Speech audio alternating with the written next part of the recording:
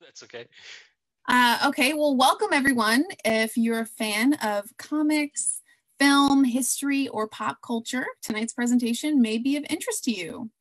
The East Baton Rouge Parish Library is proud to connect our community with great books, authors, and other resources. This evening, we're connecting you with Stephen Andes. He's the LSU professor and the author of Zorro's Shadow, How a Mexican Legend Became America's First Superhero.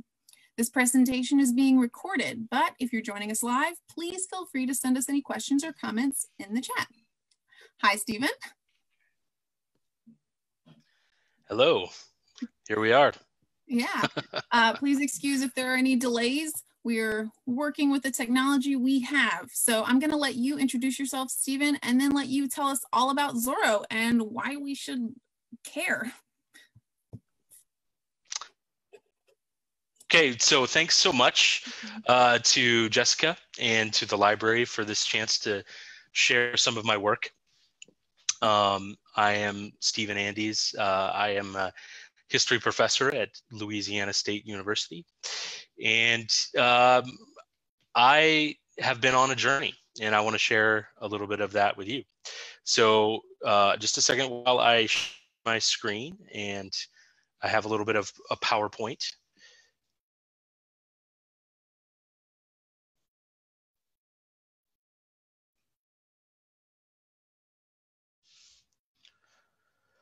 All right. So for the last two years, I've set out uh, to find the origins to Zorro. I read all the books by Johnston McCulley, the uh, the the guy that created Zorro in 1919. Um, I read the comics by Toth and Kinstler, McGregor, Matt Wagner, David Avallone. The list goes on, right? Uh, in short, I became a little bit obsessed. And so tonight, what I want to do is I'll have about 30 minutes to share with you some, just some, just a crumb, just a skosh, uh, what I learned. The rest, of course, uh, you can find out uh, more about in our Q&A. We can talk, um, as well as in my new book called Zorro's Shadow, How a Mexican Legend Became America's First Superhero. And so we can talk about anything you want in the Q&A period. So uh, without further ado, you know, uh, we have uh, an anniversary coming up of sorts, right? Uh, this marks 2020 marks 100 years of the first Zorro film that was created, right? And so we're going to question why Zorro matters for us 100 years later. And so what we'll learn three acts in a denouement. First, uh, the first act, we'll talk about Doug and Mary, Hollywood's first power couple, how they gambled on love and costume adventure films. Um, act two, we'll talk about The Mark of Zorro, the film itself in 1920. Um, it was the biggest action film of its time and in many ways uh, set the standard for the action adventure film um, to come. It was a silent film, of course. Uh, but still it did a, a lot to set about the idea of what an action adventure film should be. In act three we'll look at how all of this began to set a blueprint for the superhero genre itself. Superman uh, created in 1938 batman created in 1939 and the influence of zorro and fairbanks uh, the first zorro uh, on those comic book creations. And then finally, the denouement, this sort of uh, untangling of the knots and of our plot. We'll try to bring it together with trying to understand superhero origins in Latinx history. All right. Uh, and so, but first, before I get started, I don't want to forget to emphasize what this all means, right? Why is Zorro important? Not as a crucial part of forming the superhero genre, right? Which he was and is, but Zorro is important is important for another reason. And Zorro is important to our present because Zorro was real, right? And hopefully that will make sense at the end. And if it doesn't, then uh, I have failed. But I have good hope that uh, we won't fail. All right. So first, what is your favorite Zorro, right? When you think about Zorro, you probably have a specific actor in mind. For me, I always think about uh, Antonio Banderas, right? In 1998 film, The Mask of Zorro with Anthony Hopkins and Catherine Zeta Jones, um, Antonio Banderas. That's usually what comes to my mind. But for others, it's Guy Williams, right? The um, uh, photo over here. Um, Guy Williams, the man in the mask. Actually, that was the the uh, the cover for my book. That I, is my favorite, probably picture of Zorro. Um, he was the Disney Zorro in the 1950s. He was the actor that played uh, Don Diego and Zorro in the 1950s Disney um, series. But then the guy in the middle here is Tyrone Power. 1940, Warner Brothers did a reboot of the 1920 film, also called The Mask uh, or sorry, the Mark of Zorro, Mark Mask, the Mark of Zorro. Um, and uh, uh, he was the heartthrob of the day, right? He vied with Errol Flynn for perhaps the best man bottom of his age, right? With his sort of very tight fitting uh, uh, sort of pants that he wore in that film. Uh, reviewers, I, I chuckled as I read reviews about people, reviewers commenting on his tight pants, right? Um, but actually, none of these guys here, whether Banderas, Tyrone Power, or Guy Williams, actually started or, or were actually the first Zorro. The first Zorro was a guy named um, Douglas Fairbanks. Douglas Fairbanks. Okay. Now, the actor that started it all was sort of a kind of Tom Cruise of his day, plus Jackie Chan rolled all into one, right? Uh, he, you know, he he had sort of this this air of masculinity, of uh, of sort of the almost muscular Christianity of, um, but also he did lots of his own stunts, like Tom Cruise says he does.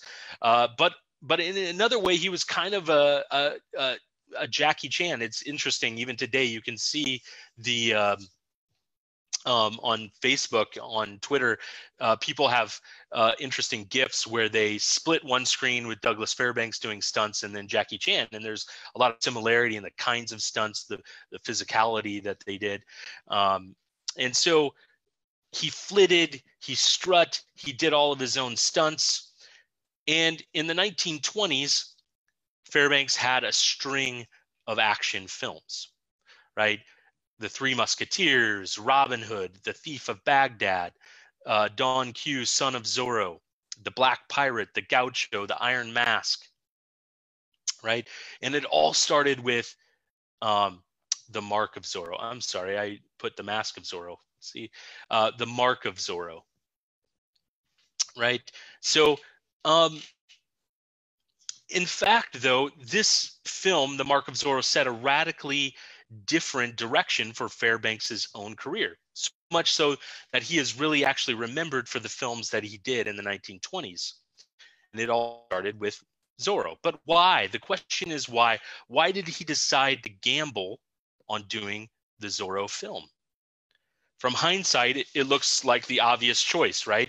He's known for all these films. He uh, was sort of like the action adventure god of his day, but not from the perspective of 1920, because in 1920, nobody was doing historical costume films, right? Set in the past. That was something that was inaugurated really with this movie, The Mark of Zorro, in 1920. In fact, uh, Fairbanks was really known for his romantic comedies before that time. It's a, a, a bit like, uh, you know, obviously uh, a uh, actor like Tom Hanks has done lots of serious roles and is actually more probably known for his serious roles than his comedic ones that he got to start in.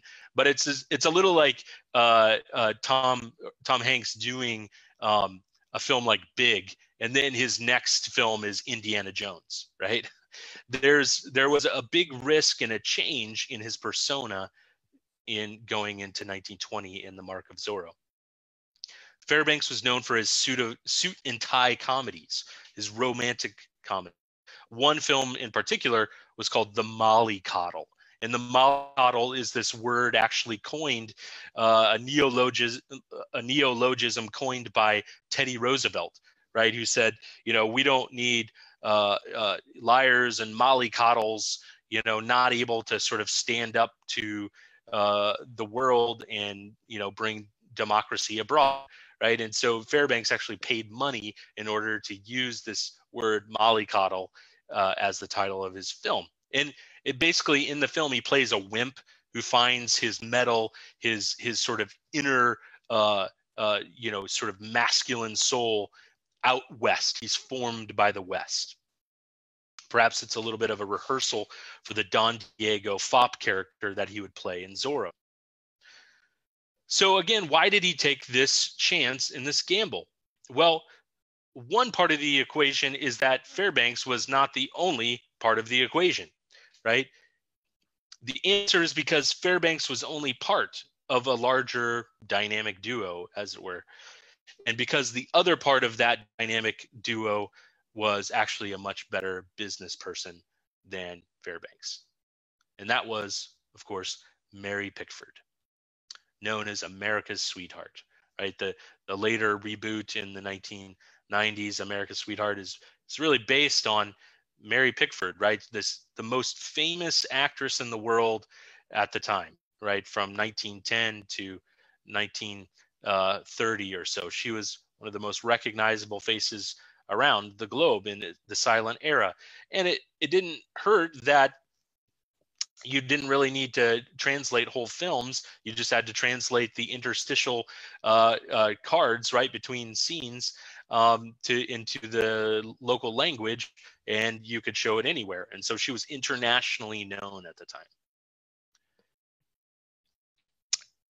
So we've of course heard of Brangelina, we've heard of Bennifer, but we also should think about Doug and Mary, right? Their house that they bought was called Pickfair, uh, sort of a portmanteau of both Pickford and Fairbanks. And that really sort of idea came the power couple came from mary pickford and douglas fairbanks but how did their relationship start? If their relationship was important for bringing zorro to the screen how did their relationship come about? Well it itself was a love story right? It seems that uh, you know, Mary Pickford, as I've said, was this well-known uh, face throughout the world. She was actually um, so well known that she became the first actress to have a million dollar contract, which works out to around 43 million in today's dollars. They, uh, Doug and Mary met in 1915 when Fairbanks moved to Hollywood. They instantly clicked. Um, they during World War One they began to sell war bonds. Uh, with the guy on Fairbanks' shoulder is none other than Charlie Chaplin. Charlie Chaplin and Douglas Fairbanks were sort of BFFs forever, right? Um, and uh, their romance budded in that situation. The problem was is they were both already married. In the 1970s, after the death of Mary Pickford, a chest of Pickford's secret love letters were found, and historians have used these. And in one of these love letters, while they were both still married, Douglas wrote uh, Mary Pickford, um, uh, you know, sort of all of his romantic art, uh, ardor in in in sort of these letters. He's in one of the letters he said, "A mere thought of you stimulates as nothing else can. You have grown sweeter, lovelier, bigger, I can't tell you how thrilled I am at all times. Your intelligence, your beauty, your kindness, your sense of justice. Oh, I am wild about you, right? And so, uh, after the World War One, all of them ended up going into business together. Fairbanks, Pickford, Chaplin, and the guy with the hat on in the picture there is D.W. Griffith, the uh, the director of the uh, infamous movie, The Birth, Birth of a Nation. Um, but anyway, they started United Arts Company. So after they started United Artists, they ended up both getting a divorce to their respective spouses, and uh, they promptly married each other. It was l- something like three weeks from the time that Pickford's divorce was finalized, and she married Douglas Fairbanks. But that itself was a gamble. They uh, gambled that their, you know, loving audience would actually accept them because uh, divorcing and remarrying in the way that they did in 1920 was uh, not seen as uh, you know sort of virtuous. It wasn't seen as um, upholding the sort of wholesome on-screen uh, personas that they had. And that uh, wholesome on-screen persona was supposed to follow them off-screen as well. They go on honeymoon. They get married. They go on honeymoon. And what do they find? They don't find rejection. They find open arms throughout uh, Europe. Everywhere they go, they're they're they're met by adoring crowds. At one point, uh, Douglas Fairbanks right had to sort of fullback hustle Mary Pickford through the crowd, you know, showing off his prowess, um, you know, uh, in order to protect his bride from the crushing crowd, et cetera, and so forth.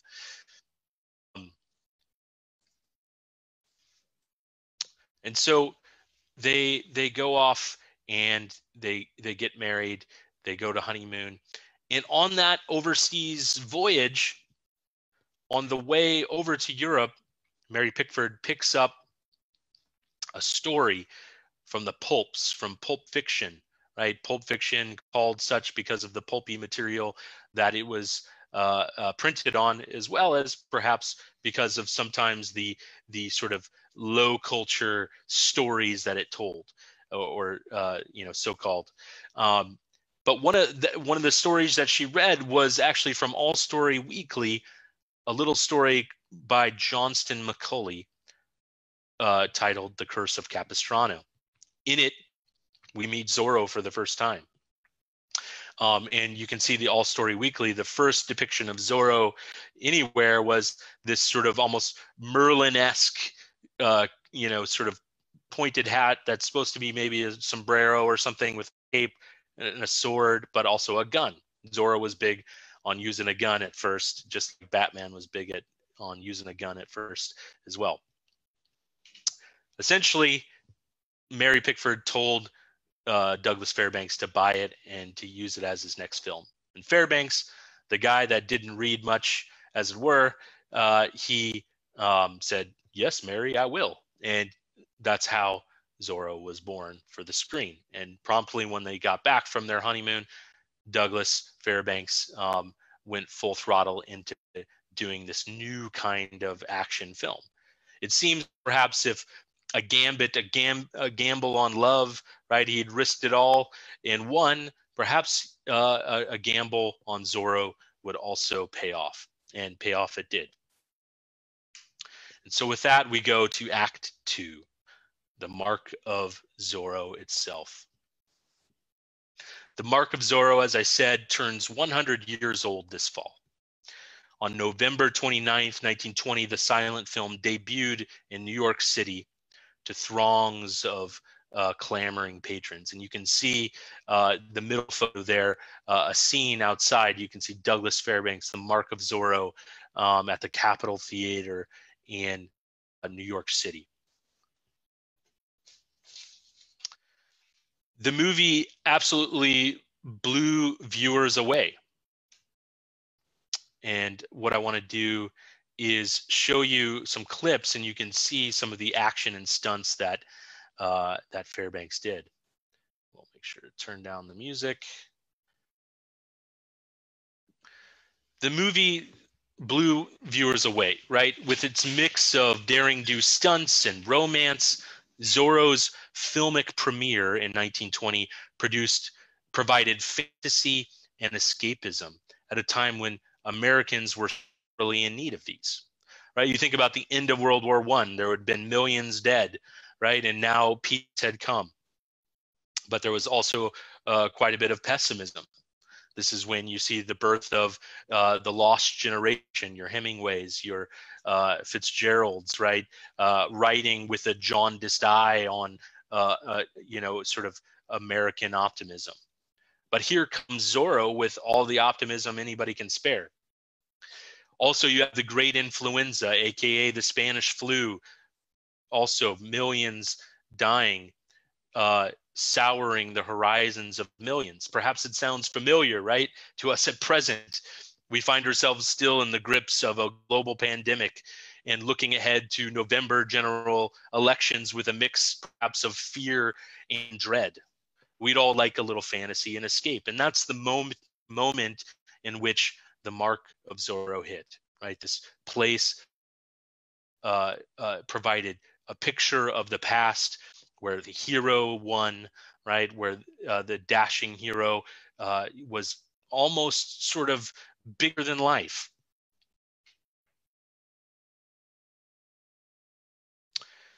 But here's the important question why should we care about the mark of Zorro on its 100th anniversary? The movie certainly made a splash. It heralded the rise of the action adventure genre. Douglas Fairbanks, right? He skylarked and jumped, he rolled and tumbled. Um, right, one one uh, uh, reviewer at the time from the New York Times admitted there couldn't be another hero like Fairbanks. He's bigger than any uh, hero from literature. Zorro was bigger, faster, stronger than other heroes, mainly because of the medium of film, right? This newish medium of film, right? It wasn't brand new in 1920, but yet here is the the way in which all of these threads come together the storytelling the sense of escapism the sense of fantasy but with kind of filmic projection our desires of uh, uh, a way to escape our fears a way to believe and have optimism that uh, even though spanish was said to be uh, or zorro was spanish even though zorro was spanish um, there was a sense that he embodied American ideals of optimism and uh, can-do-ness, right? The film transformed expectations of how stories themselves should be told. Movies could literally project fame onto these projector screens. Fairbanks became a hero, perhaps almost super, right?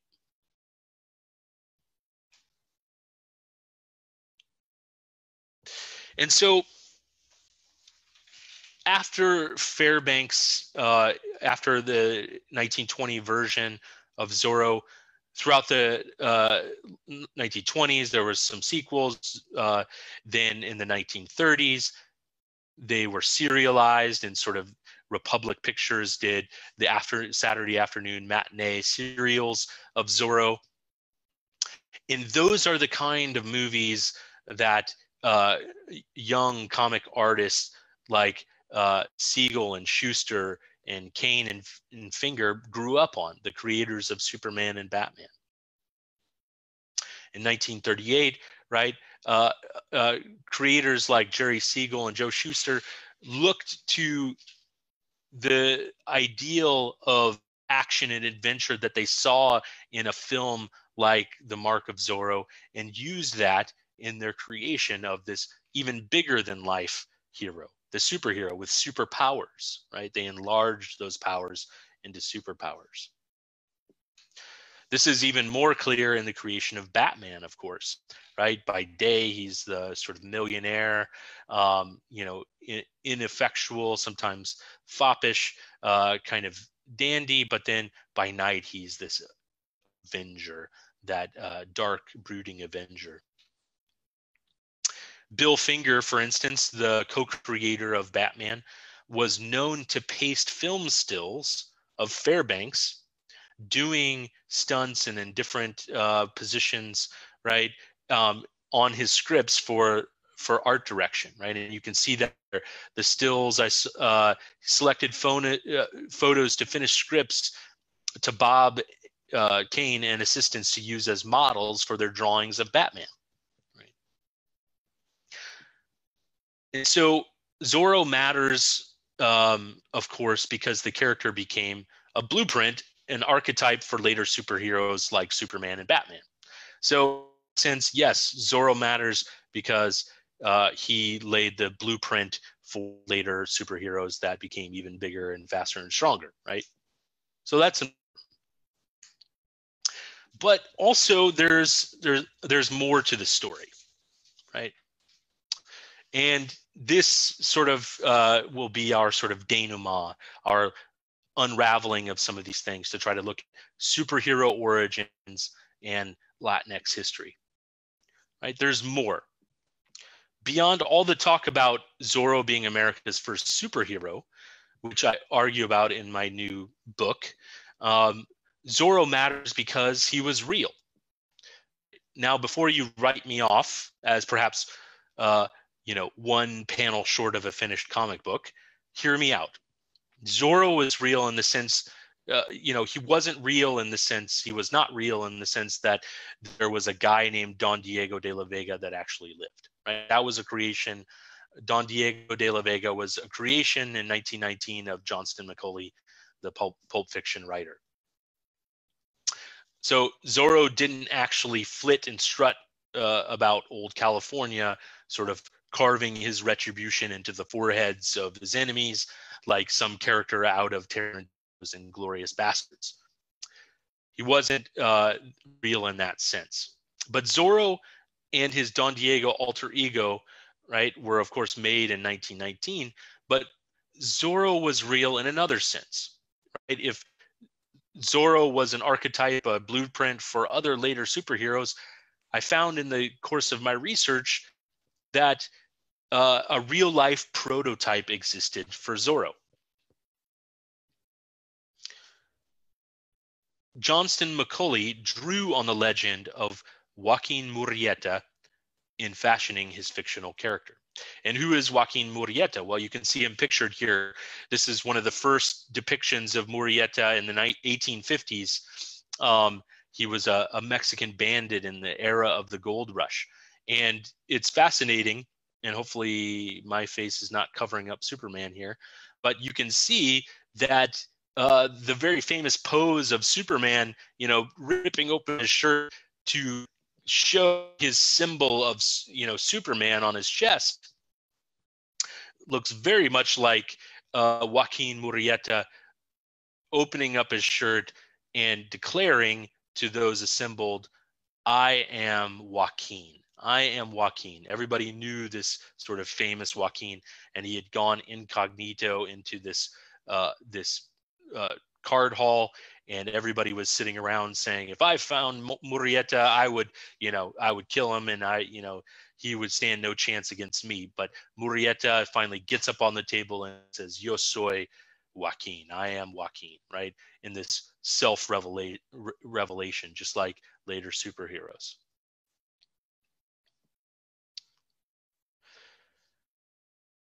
and so another example here I don't know. We can see, um, so it should be noted that much of the legend of Murrieta is almost as fictional as the Zorro character? Murrieta lived in the age of the gold California gold rush. So much was written about him. Newspaper accounts, a, a, a novel, the first novel basically of California, um, uh, in the 1850s was written um, about Murrieta, right? But he lived in, but there is some basis to the legend, right? The story goes that after his wife was raped by Anglo prospectors, Murrieta came from northern Mexico to look for gold. And once he was there, he found himself persecuted by Anglo settlers who said, Oh, well, uh, this might have been, you know, part of Mexico like a year ago, but now it's part of the United States, and you're now a foreigner, so you have to pay an extra tax to look in gold mines. Murrieta didn't like that, so he ran into trouble. Uh, he was persecuted by uh, these Anglo settlers. His wife was raped. Uh, his brother-in-law was lynched, right, and that drove him into a life of banditry, as the story goes. To Mexican Americans at the time, he became a kind of a binging ghost, ready to repay the wrongs done to his people. But to Anglo Americans, he was a scourge, a figure that was maligned. And so here you can see one example of the way in which the Murrieta uh, made its way into Zorro was this reward poster. The famous wanted poster that appears in virtually every Zorro film, um, and even in the film El Gaucho, the Gaucho that uh, Fairbanks was also in, that you can see on the top where he's smoking there. Um, the story of Murrieta goes that he uh, was riding into town one day, saw his poster that it was, you know, for a reward of a thousand dollars, and Murrieta got off of his horse and scoffed at it, just as Fairbanks is doing there, and said, "So little." And he wrote on it, uh, "I will give ten thousand, right, for the capture of himself," um, and signed it Joaquin. So uh, this shows up in the the mark of Zorro as uh, Zorro walks into there and sees a reward poster for his capture on the wall of the tavern, and instead of signing it, Joaquin, of course, he takes out his sword and carves his letter Z, his calling card. Zorro's ubiquitous Z is an echo of Joaquin's own boasting signature. And so, but for the real Murrieta, time ran out. Um, the California governor set a reward for the capture, dead or alive, of Murrieta. Contingent of California Rangers mustered for the pursuit of Murrieta and his capture, and they claimed to kill have killed him. And then they cut off his head to be able to bring in and claim the reward from Murrieta, right? As a souvenir saying, this is Murrieta, give us the reward. The problem is, is that um, whether it was actually the real Murrieta, historians, including myself, have not been able to establish. There's so much legend and myth that surrounds this. But the fact of the matter is, is that there's affidavits saying uh, where people testified before judges saying that there was indeed a human head inside a vat of alcohol so somebody's head was in there. It could have just been a hapless Mexican 20 something who fit the bill. That possibility makes the decapitated head of Murrieta all the more gruesome and horrendous. For indeed, whatever the truth or fiction of the actual Murrieta, Mexican Americans suffered under Anglo Americans of the West. One historian notes that there were at least 800 71 documented cases of Mexicans who were lynched in some 13 uh, states in the American West after the Civil War. So the argument here is essentially that even if Murrieta didn't exist in uh, as this sort of single identifiable person, the fact is is that people saw in that story something that was true about their lived experience in California, that they came to California from Mexico to look for gold, or they were uh, Californios that lived in California before it became a state, and they were persecuted, lynched, uh, pursued, and even, um, you know, sort of killed and run out of town. And so it uncovers a certain kind uh, uncomfortable truth about the mask of Zorro, that behind the mask of Zorro lies a, a truth about settler colonialism, about American racism, but also about the way in which this story over time became and has continued to be a symbol of fighting for justice against oppression. Murrieta first and later Zorro, as of course, a more whitewashed literary offspring, preserve the real history of persecution, survival, and resistance of Latinx folks in the United States. As the villain from the 1998 film says, it's not just one man, damn it, it's Zorro, right? And so, in an age when Latinx people are once again maligned, threatened, put in cages on the US border, and called foreign to the American body politic, Zorro can become a symbol of resistance. Zorro matters. Why does Zorro matter? Well, because after 100 years, America still needs inspiration from forgotten legends that have been covered up. And when you uncover the truth behind some of those legends, you realize your present story needs to change or your present mythology needs to change. Murrieta and Zorro after him reveal the roots of Latinx culture and contribution to what makes America, well, America. Latinx history and experience helped birth the superhero in America. Masked Avengers who stand up for the oppressed and speak truth to power. It's as plain as Zorro's famous calling card. So thanks. That's all I have for you. Uh, and I would love um, to hear some questions. Let me stop sharing my screen. That was great, Stephen. Um, you're right. It's a hundred years into the future, um, and a lot. There are a lot of similarities with the experiences and what's going on in America. Um, global pandemic, right. uh, issues with racism, and um, it's that kind of you, you, talked about it earlier about how there's this uh, escapism that uh, a lot of people enjoy and and desire through literature, uh, through comics, and through these superheroes. Super uh, comics are not uh, a dirty secret of of right. America anymore. It's a staple now. Now it's it's very popular. It's very not just popular, but they it means a lot to uh, to us. I have your book right here, um, and with some marks. Yeah. Uh, I'm very very glad I got to read some of it. Um, I at some point you mentioned, and I like how you stated in your book, uh, the tie and the or the connection between Zorro's dual identities. How yeah. he is by day he's foppish Diego de la Vega, um, and then by night he is El Zorro. Um, you tie it in, you tie that dual identity to a more modern term, which is called uh, code switching. Yeah. Um, can you remind us what code switching is and um, how that how that ties into things that we're doing now?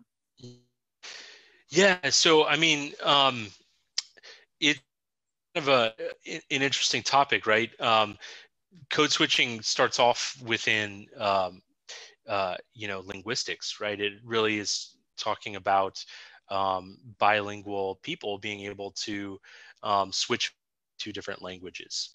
Um, and some of the ways in which in doing so um, right there are sort of similarities and bleeding in between switching between those two things but then also having to present a very different um, kind of uh, of presentation of the language right when switching between those languages. Now um, one of the most famous is this podcast run by um, by uh, National Public Radio, NPR, called Code Switch, right? And it talks about the ways in which um, culture, right, uh, is also uh, important in talking about things like race and racial identity. Um, you know, uh, the, one of the things that influenced me was thinking about um, W.E.B. Du Bois and his um, seminal kind of text, what he's probably remembered most for in terms of a, a single title called The Souls of Black Folk in 1909. And he talks about this sense of double consciousness um, uh, of having to sort of bear within one's body, you know, the the sense of uh, of blackness, but then also realizing that within the context of American society, that blackness is is rejected. Um, and so I saw it in a character like Murrieta, kind of shadows or like shadows. That wasn't supposed to be some clever allusion to the title, but um, I saw I saw some sort of nugget there of this sense of um, you know hiding behind a certain kind of you know Murrieta was talked about as uh, the papers. One of the ways in which he was dangerous, right, was that um, that Anglo uh, newspapers would say he speaks English fluently, and he has fair skin and light hair as somebody does or, or, can you know phenotypically oftentimes from like northern mexico and sonora. You see you know blonde hair and blue eyes perhaps more often. Um, and uh, this was a sense that but at any moment right could throw off that mask and he was joaquin right? And so i saw this way in which um, you know there is there's a way in which the part you know i obviously speak as you know a white american. And so i i try to do this with a bit of sensitivity and listening to others. And so to do so i think um, one of the people that i you know graciously let me interview her was rodneyna hart who has been an awesome moderator for our own microcon but i asked her about this sort of uh, dual identity uh, ness of superheroes. Um, and she told me this um, that I want to quote, um, if I can find it. Um,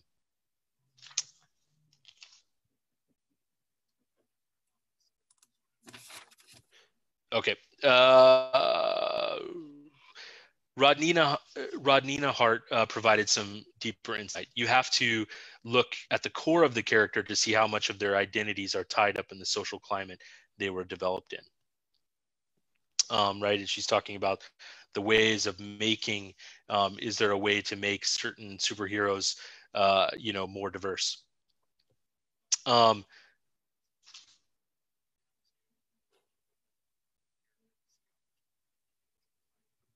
okay this is here this is what i'm looking for. Thank you uh, for your patience and waiting for me. Um, she said the super heroic alter ego is a fantastic analogy.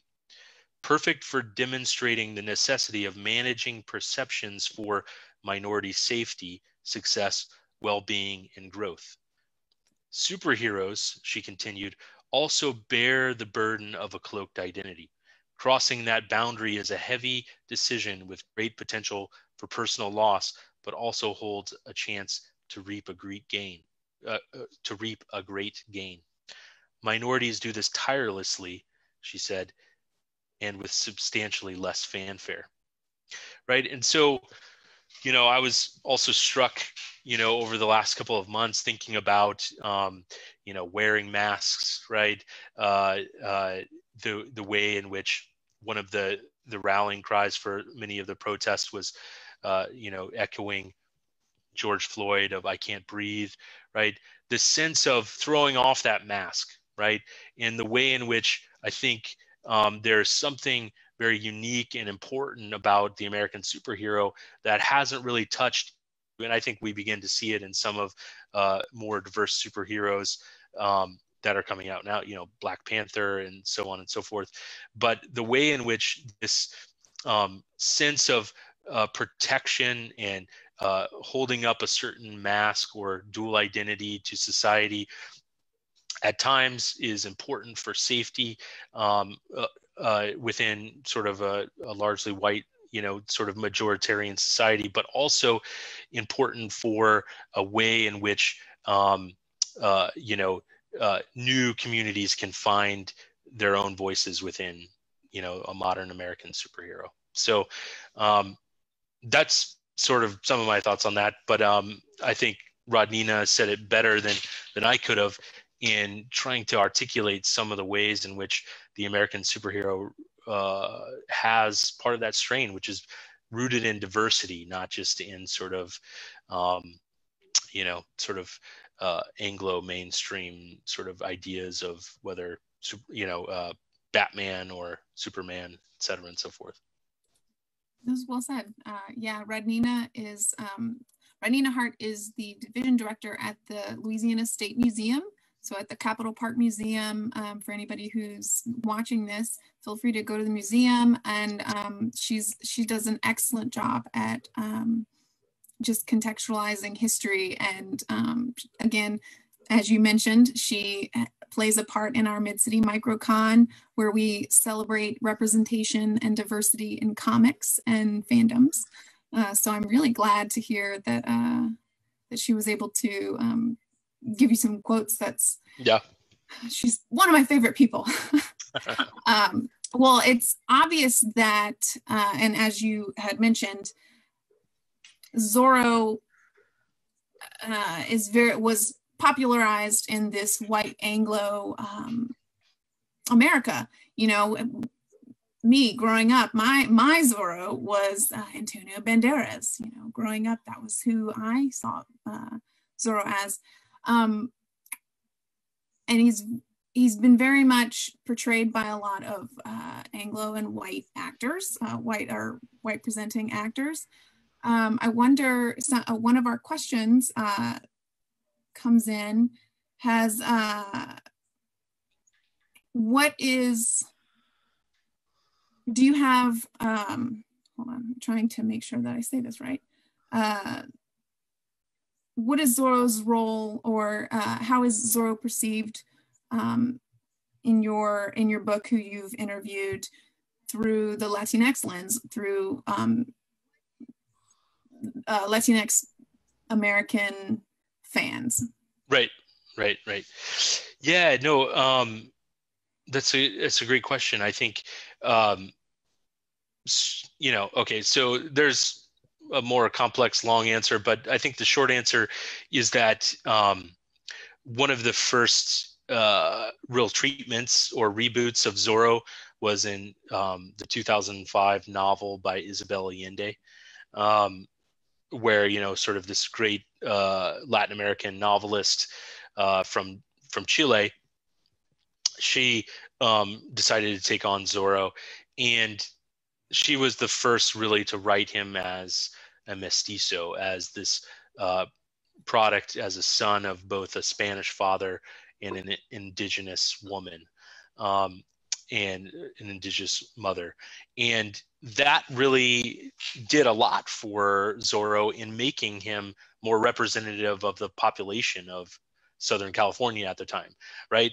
Uh, the original inhabitants of Southern California right, were a mix of, you know, Spanish, indigenous, um, you know, and uh, in African um, people, right? They were a mix of all of those kind of things, and so there's a sense that um, Zorro then with Isabel Allende's novel, and then in several line of comics since then have acknowledged and begun to acknowledge the sort of diverse or the possibility of diversity within Zorro as mestizo. And I think that has been more popular. Um, however, you know, when I think about some of my uh, friends that are, uh, uh, you know, Latino comic book uh, creators like Javier Hernandez, um, you know, he talks about growing up in Southern California, and he was like the only sort of person that resembled me or my culture was Zorro. So I thought, Zorro was the guy that I wanted to, to be and emulate, right? So even in that, there's a way that uh, one scholar, Frederick Luis Aldama, and uh, William Nericcio talk about the way in which even if there is whitewashed, in, inaccurate portrayals of you know yourself on the screen, there is also a way that we as viewers can take those in, sort of chew on them, metabolize them and spit them out in a way that reflects us and uh, does justice for us because we change them to suit our needs we change them to um, to suit what we need in them right to make them more representative etc and so um, i think that is a similar process that's happened with zorro that even though you know for most of Zorro's history, these 100 years, he's oftentimes been the Spaniard of blue blood, kind of more white, um, etc. Uh, there is a sense that um, he has become um, a heroic figure for many um, Latinx people um, because of the the agency of these people of these viewers to to say, well, that might be what you're giving me, but what I'm going to give back is something that is more authentic, more um, more representative. Uh, you know, another guy um, that uh, he does this character El Gato Negro, the black cat, right? And he talks about the way in which um, Zorro is, um, uh, you know, hugely sort of influential on him. And he sent me recently um, a, a, really cool picture of Zorro congratulating El Gato Negro as El Gato Negro is you know sort of the next superhero sort of in the line of superheroes and here's zorro welcoming him you know right um, and so it it says less about the creativity of sort of the established media and it says more about the imagination of fandoms as you were talking about like the creativity of fandoms to in in some ways demand that their the things that they love represent them you know. um, and so that's what's really cool, I think, about a character like Zorro, Spider Man, right? Other, you know, Miles Morales, Spider Man, all these kind of characters that are being, um, you know, not all the old lore is not being totally thrown out, but there's a way in which uh, new voices, new suits are being added to add to these different kinds of passions. And I've said before that one of my favorite quotes about uh, uh, Comic Con is by this guy Glen Weldon who wrote a book on Batman, and he said, um, you know, same passion, just different suits. That's what my that's what Comic Cons are. And in that sense, um, the problem within comics for a long time, within media for a long time, was the fact that there was that same passion, but there weren't enough suits um, to go around to to be able to express that, to express one's own identity. And um, now that's beginning to be the case. And it's really only beginning to be the case because um, brave, creative people, uh, you know, um, regardless of their, uh, you know, racial, sexual identity, are beginning to ha- have their uh, voices heard, you know. So, um, so I think Zorro fits within that story as well. Thank you. Yeah uh, we do as America, and we have a history of um, Anglo white people telling stories uh, of other, telling stories of other cultures in those voices. And um, like you explore in this book, it's important to dig into um, the story, yeah. dig into that history, and to be aware. Um, it's especially especially w- with superheroes that we hold on a pedestal like this is this right. is ideal this is who we want to be with but we want to make sure that we know um, okay well the context this this character was written by a white anglo man right. in the early 1900s that comes with its with its own um, issues um, we have one more question i have uh, so somebody has has asked who currently owns the intellectual property for El Zorro? uh, that would be Zorro Productions uh, International. Um, yeah, so it's a story that I uh, briefly touch on in the book. Um, McCulley, right, wrote the Zorro novels um, and stories and did so until his death in 1958. Um, but before that, he had a literary agent. And this literary agent um, helped broker the deal with Disney to do the Disney uh, TV show.